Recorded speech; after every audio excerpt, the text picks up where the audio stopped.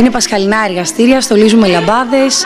Σήμερα κάναμε το κυνήγι αυγού, πασχαλινό κυνήγι αυγού και τα παιδιά χάρηκαν πολύ αυτή τη δραστηριότητα στον εξωτερικό χώρο του φουγάρου.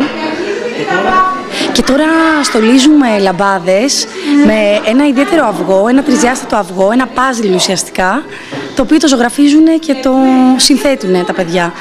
Συνέχεια θα έχουμε ε, και άλλα εργαστήρια. Θα έχουμε από τη Μεγάλη Τετάρτη, θα συνεχίσουμε με στολισμό λαμπάδας.